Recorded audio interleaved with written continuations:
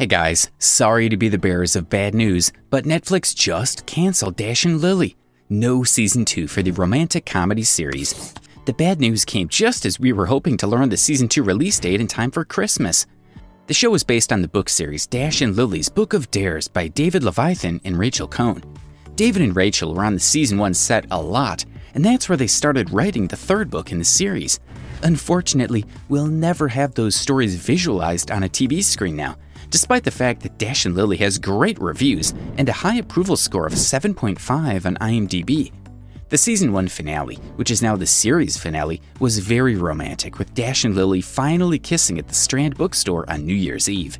Austin Abrams, Dash, is now filming movie Strangers with Game of Thrones star Sophie Turner and Riverdale's actress Camila Mendes.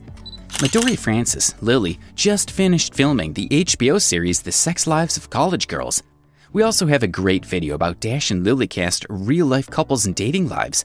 We'll link it here and in the comments below. Who's your favorite cast member and character? Share in the comments, and thanks for your likes. Your support means a lot.